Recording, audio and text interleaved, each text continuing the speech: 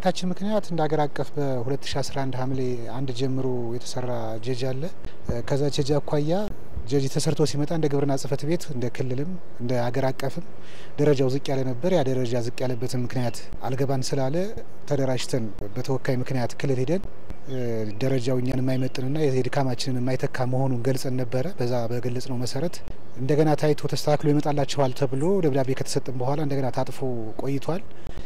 በዋናነት እንደ ግብርና ስንመጣ ተስተካክሎ ይመጣላችኋል የተባለው ጀጅ በጣም ዘገየ። ከዛ ባሻገር ደግሞ መንግስት በሚዲያ ከሚያዝያ ጀምሬ የሶስት ወር ነው ምከፍል ሲል ከዚህ ቀደም የተያዘልን የእድገት ደረጃ ነበር እና ያ የእድገት ደረጃ ወይም ኬረ ተጠቃሚ ነን ከጥር ወር ጀምሮ ማለት ነው።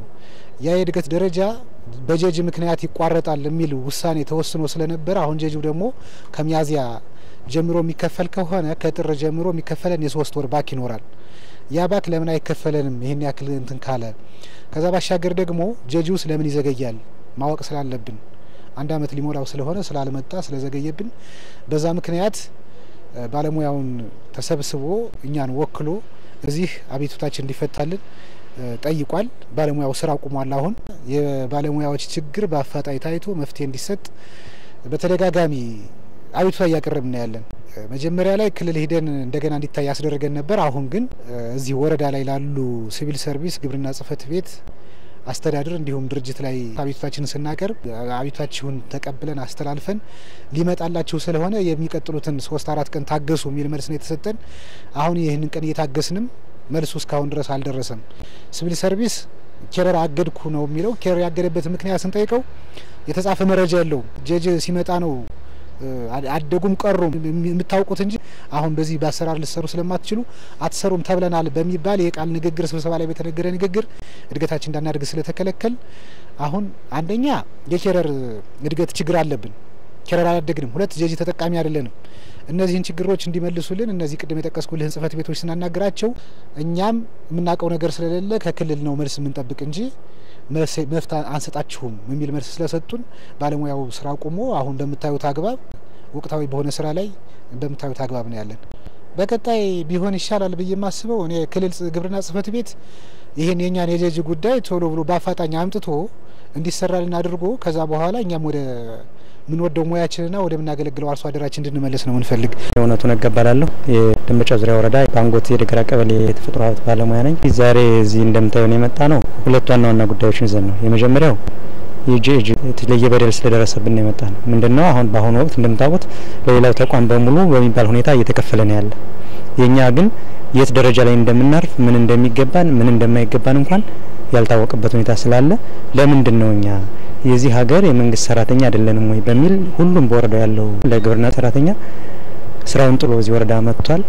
ከዛ በኋላ እኛን ወቅቱ ስለሚያስገድድ እኛን ተመርጣችሁ ሂዱና አቤቱታችን አቅርቡልን ብለው ነው የላኩ እና መፍትሄ እንዲሰጠን እየጠየቅን ያለ ስሮ ስራ መቆሙ አግባብ አይደለም። በእኛ በኩል ለእኛም አይጠቅምም፣ ለሀገርም አይጠቅምም፣ ለመንግስትም አይጠቅምም። ግን ደግሞ ችግራችንን የሚፈታልን አካል እንድናገኝ በሚል ግፊት ለመፍጠር የተደረገ እርምጃ ነው። ይህን እኛም እያወገዝን ነው። የሚመለከተው አካልም ተገቢ እርምጃ እንዲሰጠን እየጠየቅን ነው ያለን። ለዛ ነው የመጣ ነው ዛሬ ስንጠይቃቸው እነሱ የሚሉት ጥያቄው አግባብ ነው ነው እንጂ አግባብ አይደለም ብሎ በልበ ሙሉነት የተከራከረ ሰው የለም። ትክክል ነው፣ ተጎጂ ናችሁ፣ መጠቀም አለባችሁ ነው። ማን ይጥቀመን ስንል ደግሞ የክልሉ መንግስት ነው የሚያውቀው ነው። እንግዲህ የክልሉ መንግስት ነው የሚያውቀው በሚል ከዚህ ቀደም ክልል ሂደን እናውቃለን። ግን የተሰጠው ምላሽ ጠብቁ ነው። እየጠበቅን ነው። እስካሁን የመጣ ነገር የለም። እኔ አሁን ለምሳሌ ካለሁበት ደሞዝ ተነስቼ ስንት ላይ እንደማርፍ አላውቀውም። ደሞዜን ራሱ ማለት ነው። ሌላው ሁለተኛው ጉዳያችን የደረጃ እድገትን በሚመለከት በየሁለት አመቱ ባለን የውጤት ተኮር ስራ ምዘና መሰረት ካለው ከተቀመጠው ስታንዳርድ በላይ የተሞላለት ሰው ደረጃ ያድግ ነበር። በግብርና ቢሮ በኩል የሚታወቅ ሲቪል ሰርቪስም የሚፈጽመው ለብዙ አመት ስንጠቀምበት የቆየን። አሁን ግን እሱ በዚህ የ JEG ስራ ምክንያት ታግዷል ነው የተባለ። ለምን ታገደ ስንል ጂኤጁ ሊመልሰው ስለሚችል አሁን ደረጃ ማሳደግ አትችሉም። እሺ እንዴት ይሁን ሲባል መልስ የለም። ለምን ታገደ፣ በየትኛው መመሪያ ታገደ ሲባል መመሪያ የለም። በቃል የሆነ መድረክ ላይ አንድ ከፍተኛ የመንግስት ባለስልጣን የሆነ መድረክ ላይ ነግሮናል። ስለዚህ አናሳድግም ነው የወረዳው ሲቪል ሰርቪስ ጽህፈት ቤት የሚነግረን። ስለዚህ ደግሞ ለኛ ትክክል ስላልሆነ እኛ ደግሞ የምንመራው በቃል በ oral ሳይሆን በአሰራር ነው፣ በመመሪያ ነው፣ በህግና በደንብ ነው የምንመራው። ይሄን ንገሩን። ካልሆነ ግን እኛን ተነጥለን ለምን እንጎዳለን? እኛም እኮ የዚህ ሀገር አገልጋዮች ነን። አገልግለን ለሰራንበት ደግሞ ተገቢ ጥቅም ማግኘት አለብን እያልን እየጠየቅን ያለ ይህንን መፍትሄ እንዲሰጠን እየፈለግን ነው። ስራ ቁሟል። አሁን ዘር ነው ዘር ማሰራጨት ነበረብን። ዛሬ በዚህ ሁኔታ ላይ መገኘት አልነበረብንም። ስህተት ነው። ግን ሁኔታዎችን ችግሮች እንዲፈቱ የሚፈልግ አካል ባለመኖሩ ምክንያት በዚህ ሁኔታ በሚያሳዝን ሁኔታ ተገናኝተናል።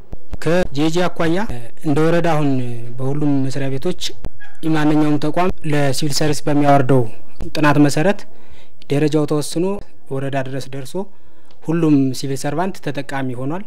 ነገር ግን ከግብርና የቀበሌ ባለሙያዎች አኳያ ከዚህ በፊት ጥናቱን ለማጥናት መረጃውን በእነሱ ባለሙያዎች ለቅመው የወሰዱት ስለሆነና የእነሱ ባለሙያዎች መረጃውን ሲለቅሙ መሰረታዊ ክፍተት የነበረበት ማለትም የ career ደረጃ አለቃቅም ላይ፣ የስራ ልምድ አያያዝ ላይ ያሻሻሉት የግል የትምህርት ማስረጃ አብሮ ተካቶ ባለመላኩ ደረጃ አወሳሰን ላይ በጣም መሰረታዊ ችግር ያለበት። ለምሳሌ እኩል service እያላቸው የአንዱ ደረጃ አስራ ሶስት የአንዱ ደረጃ ሰባት የአንዱ በ service የሚበልጠው ዝቅ ያለበት ሁኔታ ስላለ መሰረታዊ ክፍተት የነበረበት በመሆኑ በወቅቱ ከነ ችግሩም ቢሆን ተጠንቶ ደርሶልን እኛ የደረሰልንን የደረጃ ፍረጃ ለሁሉም ባለሙያ በወቅቱ ማድረስ ችለናል። ከዚህ ጋር ተያይዞ በአገር አቀፍ ደረጃ ከዚህ በፊት የነበሩ የደሞዝ አከፋፈል ወደ መቶ ሀምሳ አምስት አይነት ነበረ። ነገር ግን እንደ ሀገር በተደረገው ጥናት አሁን ላይ አዲሱ የስራ ምዘና እና ደረጃ አወሳሰን ጥናት መሰረት ከመቶ ሀምሳ አምስት ወደ ሀያ ሁለት ዝቅ በማድረግ የአከፋፈል ስርዓቱን የማጠጋጋት የማቀራረብ ስራ ስለተሰራ በዚህ መሰረት ወደ ሀያ ሁለት ዝቅ ያለበት ሁኔታ ነው ያለ። ከዚህ ጋር ተያይዞ የወረዱ ጥናቶች ደረጃዎች በወረደልን መሰረት ከእነዚህ ደረጃዎች የአከፋፈል ስርዓት ውጭ ማንኛውም አይነት ክፍያ የማይፈጸም መሆኑን በነጥብ የስራ ምዘናና ደረጃ አወሳሰን ጥናት የደሞዝ ስኬል አፈጻጽም መመሪያ ላይ የጋራ ውይይት ስናደርግ የክልሉ ሲቪል ሰርቪስ ምክትል ኮሚሽነር እና የሰው ሀብት ዳይሬክተር በጋራ ውይይት አድርገናል። ፍኖተ ሰላም ከተማ ላይ እንደ ዞን በተፈጠረው መድረክ ላይ እኛም ጥያቄውን አንስተነው ነበረ። ከዚህ በኋላ career ይቀጥላል አይቀጥልም፣ ግልጽ የሆነ አቅጣጫ ይነገረን በሚል እኛም ጥያቄውን አቅርበነው ያው በወቅቱ የተሰጠን ምላሽ ምንድን ነው እንግዲህ መንግስት እነዚህን ደረጃዎች ሲወስን career የሚቀጥል ከሆነ አብሮ በቀጣይ ከጥናቱ ጋር አብሮ ይወርድላችኋል። እስከዛ ድረስ ግን career አይቀጥልም የሚል ምላሽ ነው እዚያው የተሰጠን። የ career ተጠቃሚ ባለሙያዎች የቀበሌ የግብርና ባለሙያዎች ብቻም ሳይሆኑ በሴክተር ያሉ የምህንድስና ባለሙያዎች፣ ICT ባለሙያዎች፣ የቀበሌ ስራ አስኪያጆች የ career structure ተጠቃሚ ናቸው።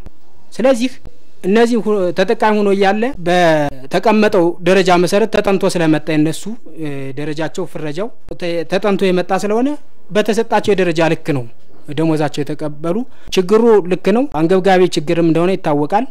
የሁሉም ሲቪል ሰርቫንት ደረጃ ፍረጃ መጥቶ ተጠቃሚ የሆነበት አጋጣሚ ስላለ፣ በአንጻሩ ግን የእነሱ እስከ ዛሬ ተጠቃሎ ስላልመጣ የሚያነሱት ጥያቄ ትክክል ነው የሚል ሀሳብ ኑሮኝ አገሪቱ ካለችበት ችግር አኳያ በተለይ የቀበሌ የግብርና ባለሙያዎች አርሶ አደር አገልጋይ ከመሆናቸው ጋር ተያይዞ እና አሁን ያለንበት ወቅት የተለያዩ ግብዓት ለአርሶ አደር የሚሰራጭበት ወቅት ነው።